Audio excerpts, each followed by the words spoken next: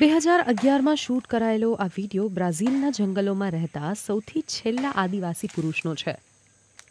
એવું માનવામાં આવી રહ્યું છે કે સાઠ વર્ષની વયે આ વ્યક્તિનું કોઈ કુદરતી કારણોસર મૃત્યુ થયું છે. અમુક લોકો તેને મેન ઓફ ધ હોલના નામે પણ ઓળખતા હતા. કારણ કે તે પશુઓને પકડવા માટે મોટા મોટા ખાડા કરતો હતો.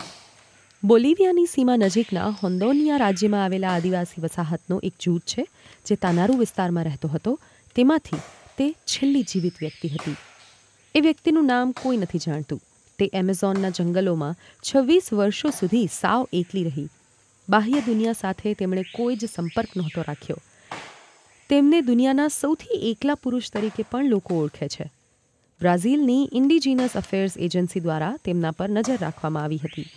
જેથી બાહ્ય દુનિયાથી ત્યાં જઈને કોઈ તેમને નુકસાન ન પહોંચાડી દે.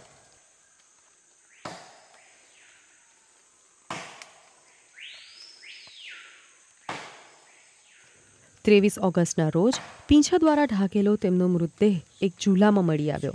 ત્યાં કોઈ પણ પ્રકારની હિંસાના સંકેતો નહોતા.